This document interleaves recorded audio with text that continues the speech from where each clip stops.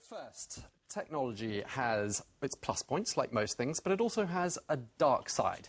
Until a few weeks ago, Muammar Gaddafi's team was working overtime trying to keep tabs on the enemies of that regime and a surveillance room has now been uncovered in Tripoli. And it's revealed quite an Aladdin's cave of Western-made technology.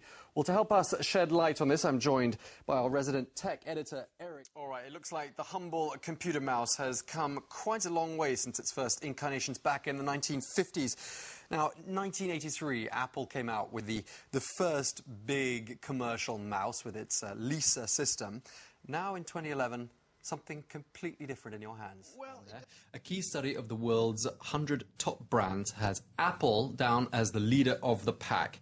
Based on the perceptions of some 2 million consumers across the world, the iPhone and iPad maker's brand alone is said to be worth now $153 billion. That's another milestone for the company. Last year, they overtook Microsoft, being the most valuable tech company in the world. Let's look at the other. Let's have a look.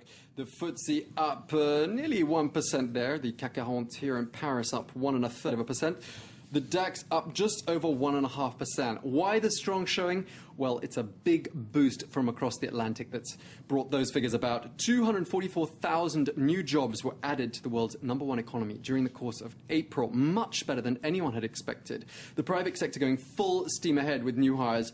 Those are the best figures seen since May 2009. And President Obama, she's been outlining her priorities for that five-year term at the helm of the IMF. She said also very interestingly that the global recovery, she believes, is well underway, although it's somewhat, she said, imbalanced. Well, speaking exclusively to France 24, Lagarde also spoke about that debt downgrade for Portugal, expressing her concerns. And she says, let's give Portugal a little time. The Dubai-based carrier's annual net profits for the year ending the 31st of March up a staggering 52%. Uh, the Emirates CEO said it's been a full year of growth and expansion for the airline. Total profits for the group, including subsidiaries, standing at about $1.6 billion. So not a bad showing for them. Pretty good. And that just about brings to an end this edition of Tech 24. Thank you very much for watching. You can keep in touch with us. Details appearing there on your screens.